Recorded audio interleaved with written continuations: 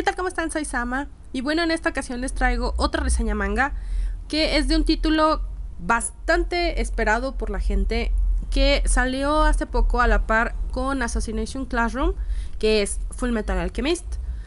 Que bueno, eh, no había tenido la oportunidad de comprar. Y eh, el día de ayer asistí a la FIL, la Feria Internacional del Libro, que se hace aquí en Guadalajara. Gigante lugar, por cierto. Que estoy preparando un video digamos, no sé si reseña, porque realmente no estoy reseñando el lugar, sino tomé un video de del lugar, de cómo es, para que quien no haya podido visitarla o quien no sepa de su existencia, eh, se dé más o menos una idea del, tipo de evento que es, es enorme. Y eh, veré si lo puedo subir en, los próximos días. Pero bueno, vamos a revisar este tomo en esta ocasión. Aquí tenemos nuestra portada. Esta es la versión eh, normal, hay una versión en Kansenban, que es así enorme y pues muy muy bonita. A ver si un después o un día, y no sé, tal vez a Panini se le ocurra sacar Kansenban, no sé, pero pues podemos ver, ir checando primero esto. Bueno, aquí tenemos la portada. Es, el acabado es tipo mate, así como los de Ayama Hiro o 20 Century Boys. Entonces es tipo mate portada. Está el logo de Panini. Y el autor, que es Hiromu Arakawa. El lomo, que es logo, nombre de la serie, una pequeña imagen. Y eh, otra vez, ¿no? Manga calles. Y contraportada, que pues es bastante sencilla. Igual aquí abajo trae su código de barras, el precio que es de 69 pesos. Y eh, bueno, que es recomendable para mayores de 13 años, o sea, es para adolescentes. Ahora bien, por dentro, esto es como lo que comúnmente, comúnmente viene dentro del el cubrepolvos. Que bueno, como notarán, no tiene cubrepolvos. Y el contenido es este.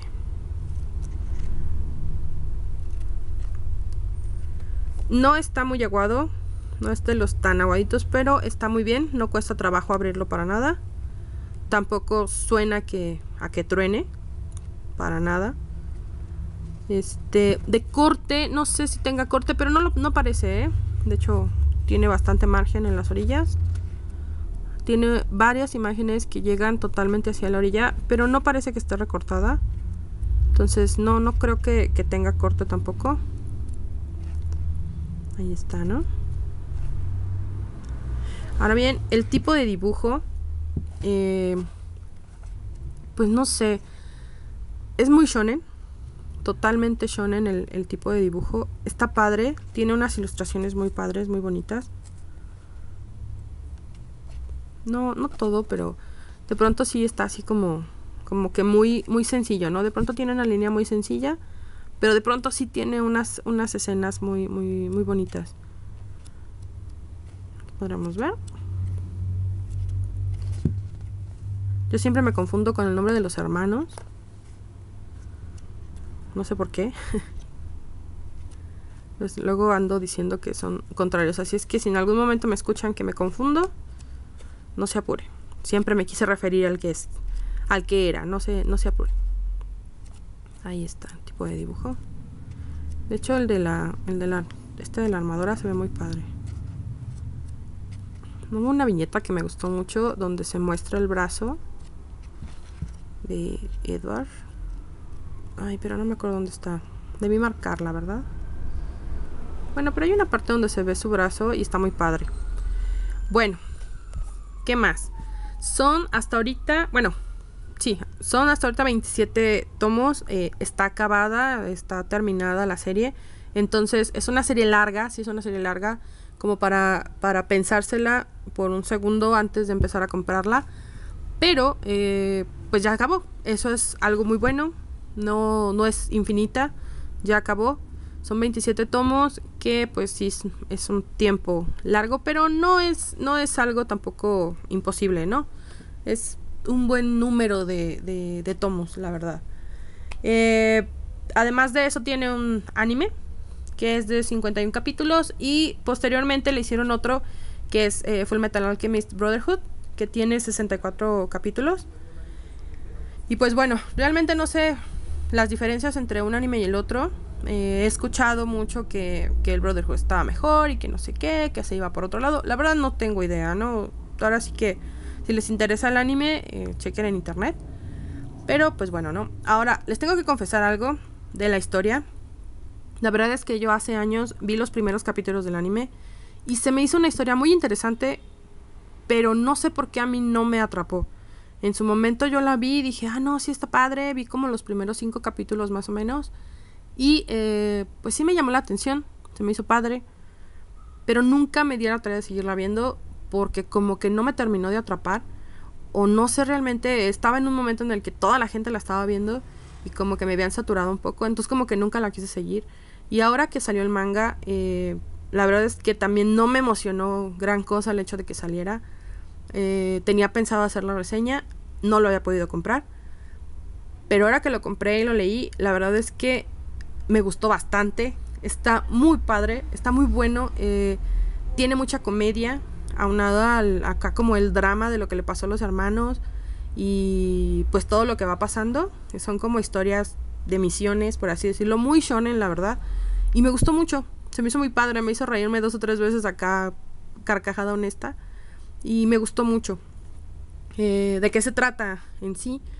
Mm, para no hacer el, cuento muy largo también, porque no sé si se puede ahondar un poco más, más adelante tal vez ahonde la historia, les voy a contar en sí lo que te cuenta aquí en el primer tomo. Que, eh, vamos, ¿no? la historia base es de... Son estos hermanos, son hermanos. Edward y Alphonse, si no me... Alphonse o Alphonse, si no me equivoco. Eh, son alquimistas o alquimistas. Acabo de darme cuenta que no sé cómo se pronuncia esa palabra. No me fijé bien si son alquimistas. No, son alquimistas, creo. Eh, bueno, eh, él, Edward, trabaja para, es un alquimista del gobierno y se dedica a andar haciendo dagas porque es bastante enojón el muchacho. Es ese típico personaje que le molesta que le digan que está chaparro. Eh, en esta primer, en estos primeros, en el primer capítulo es la historia de un padre que está haciendo alquimia y eh, pues todo el mundo cree que está haciendo milagros, ¿no? Y esas cosas.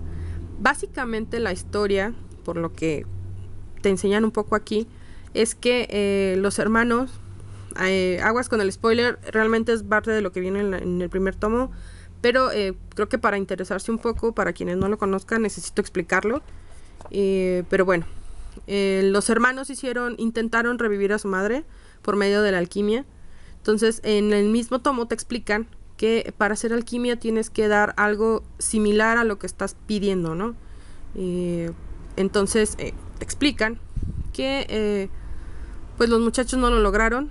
Se supone que explica este Edward que hasta la fecha, dentro del manga obviamente, no han podido encontrar la fórmula exacta para hacer que un humano vuelva a la vida, ¿no? Que, vuelva.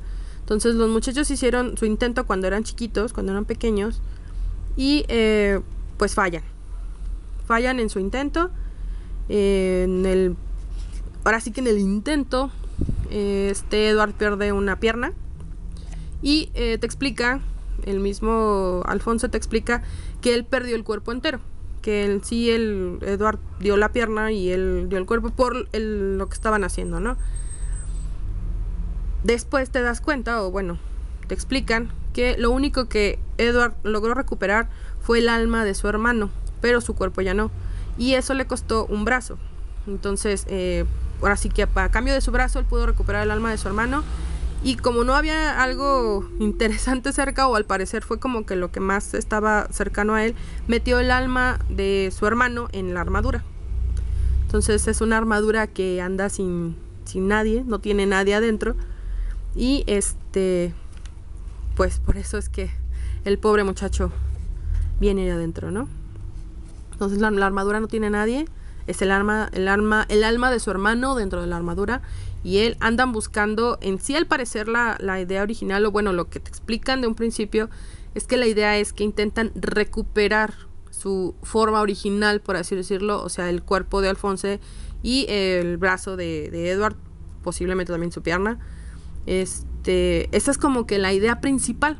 Vamos, no es como, como en One Piece, ¿no? Están buscando el One Piece, ese es el punto. Y en este, pues al parecer es lo mismo. Están buscando la forma de, volver a, su, a, su, a sus cuerpos originales, eh, recuperar sus cuerpos. Y al parecer es como la historia principal.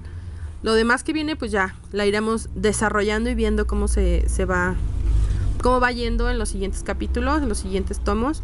La verdad está muy padre. Se me hizo muy bonito Alfonse. El carácter que tiene Alfonso se me hizo muy, muy lindo. De pronto le hace comentarios así como, ay, qué poca clase tienes. Y ese tipo de cosas. Se me hizo muy, muy divertido. Eh, tiene un, como les decía, tiene un carácter así como explosivo. Eh, no le puedes decir no, no puedes sugerir que está un poco chaparro o que está un poco bajito porque luego lo explota. Eh, dice cosas que no debería estar diciendo. Bueno, tal vez se vea un pequeño corte. Ustedes disculpen.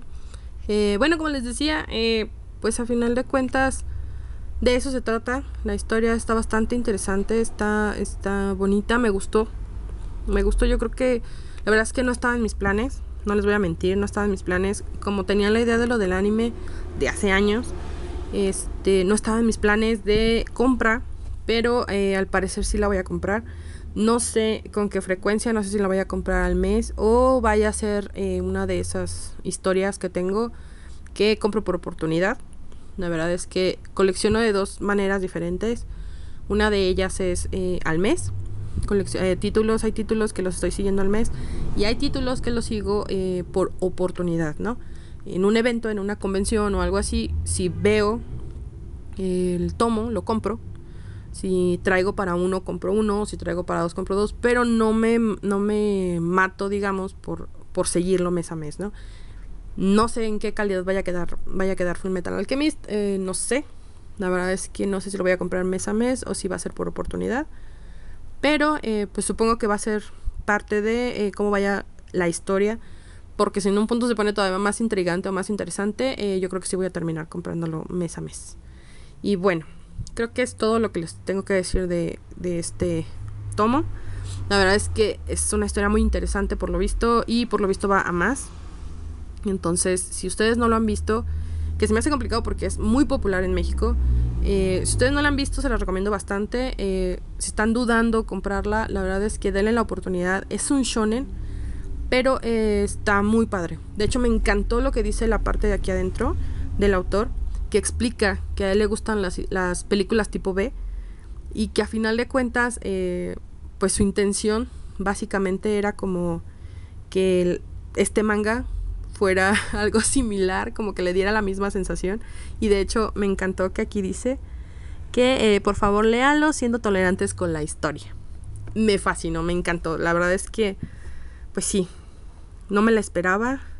Este va a ser un gasto extra. Pero pues vamos a ver cómo se desarrolla. Y pues bueno, ahora sí, extra aparte les quería comentar que bueno, les contaba que lo compré en, en la FIL. Y básicamente lo compré nada más para que me diera la bolsa de Panini.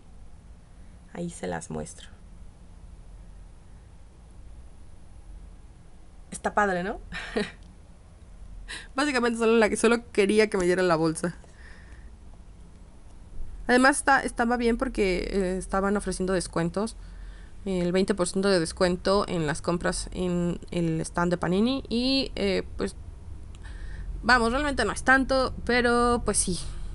Eh, los tomos estaban costando 55 pesos. Y pues está padre. Entonces, pues bueno, muchísimas gracias y hasta luego.